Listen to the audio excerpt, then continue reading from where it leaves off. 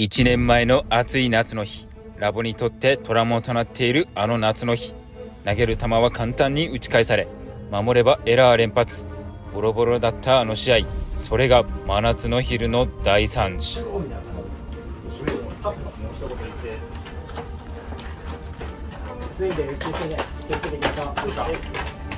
最高！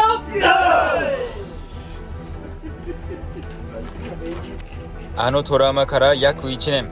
そのトラウマを晴らすべく今ラボが再び強敵相手に立ち向かう。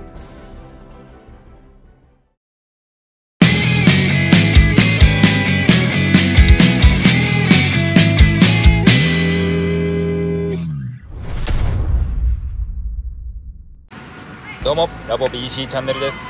本日の動画は九州都市対抗予選別府支部代表決定戦。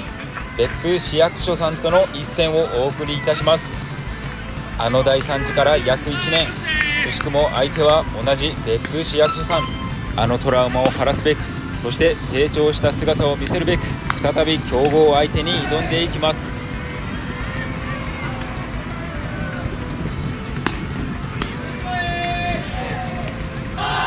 ラボベースボールクラブの先行でいよいよ試合開始です。初回の攻撃1番バッターにはグー。こ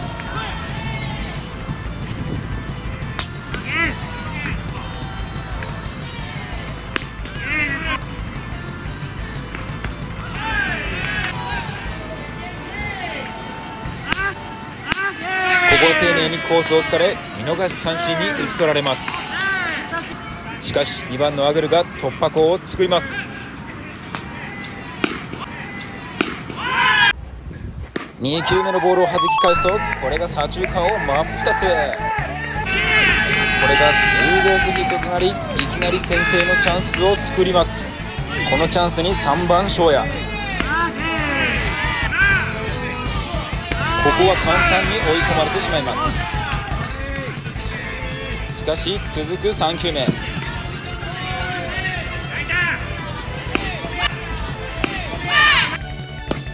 変化球をうまくすくった打球はセンター前のタイムリーヒット。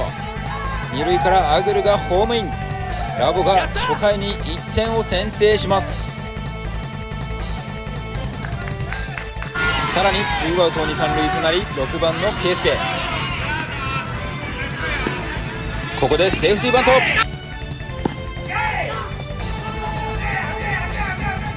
これが一塁への悪送球。相手のエラーを誘いその間に翔也がホームイン。別府市役所さんから2点を奪います。ラボの先発にはサリーが上がります。これが入団後初先発。強豪相手ですが果たしてどのような投球を見せてくれるのか注目です。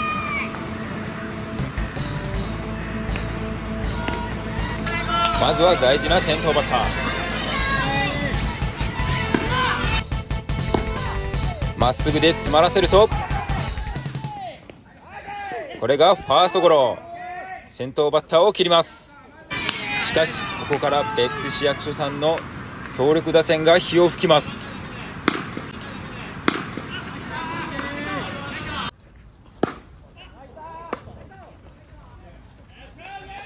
2番バッターのこの打球はライトオーバーの特大のホームラン。2ボール1ストライク。バッティングカウントからのストライクを取りに来たこの甘いボールを逃さず捉えられてしまいました。この一発で2対1とされてしまいます。切り替えていきたいサリーでしたが続く3番バッターにはフォアボールを与えます。その後ツーアウトランナー二塁となり5番バッターのこの打球。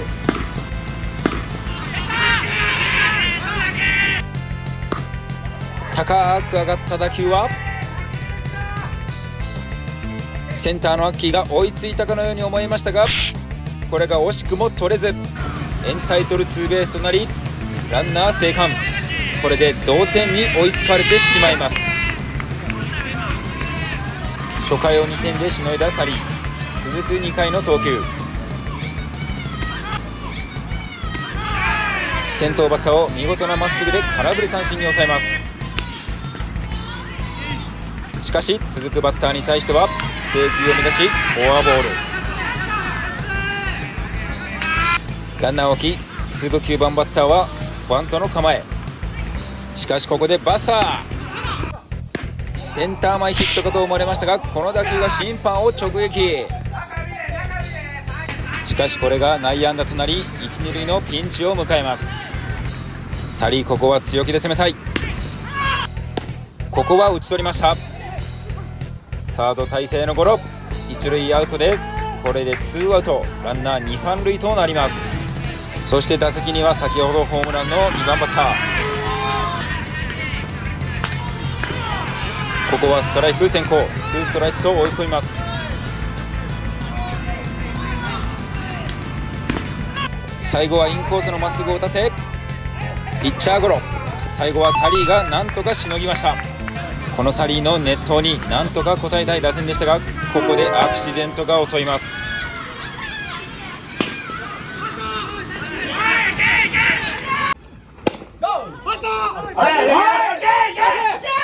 この打球でファーストとの交錯を防ごうとした翔也が膝から転倒。その場でうずくまってしまいました。翔也の様子を心配そうに見つめるラボナイン。そのまま自力で立ち上がることができず無念の途中交代。打線の中心の翔也を欠く緊急事態となりました。悪い空気の中サリーの3回のピッチング。先頭バッターのこの打球セカンドグーがナイスプレー。ワンアウトを奪うと続くバッターもまっすぐで押しサードフライ。簡単にツーアウトを奪います。そして5番バッターに対してもこれは打ち取った打球。しかし途中からレフトに入っているタクがボールを見失いボールが点々としている間にランナーは二塁へ。不運な形で出塁を許してしまいます。このピンチサリーしのげるか。6番バッターに対して2ストライクと追い込みましたがアウトローの厳しい変化球を見事に弾き返されてしまいました。技ありの一打でラボが勝ち越しを許してしまいます。さらにピンチの場面で今度は甘くなったまっすぐを完璧に弾き返されると今度は左中間を真っ二つ。連続タイムリーヒットで別府市役所さんに2点を勝ち越されてしまいます。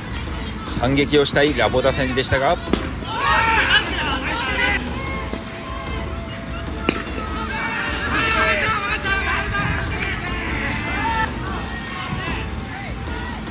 3つのフライアウトに打ち取られ三者凡退。突破口を作れず終わってしまいます。3回の途中からマウンド上にはタクが上がっております。そのタク4回の先頭バッターにフォアボールを与えるとここで盗塁。これは二塁セーフ。盗塁を許し再びピンチを迎えてしまいます。その後なんとかツーアウトとしますが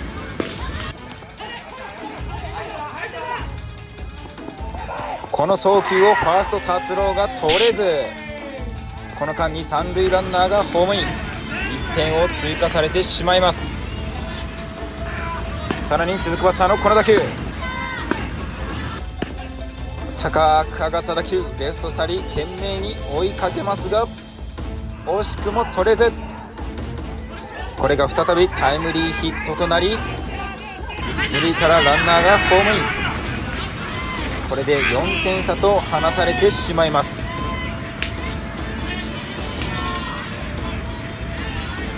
その後も別府市役所さんの打線は猛威を振るいます。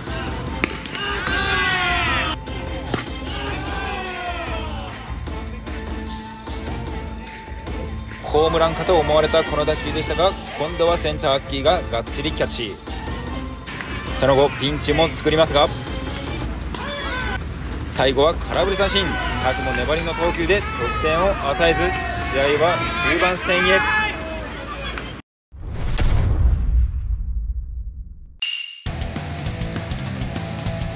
4点差とされ試合は終盤戦。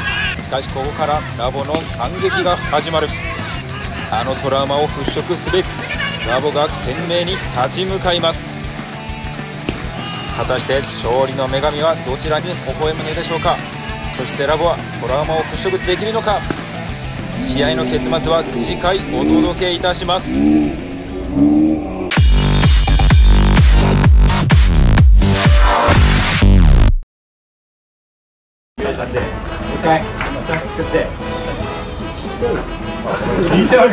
かくいいよ得点していきましょう。はい。はい。はい。行こう。はい。行こう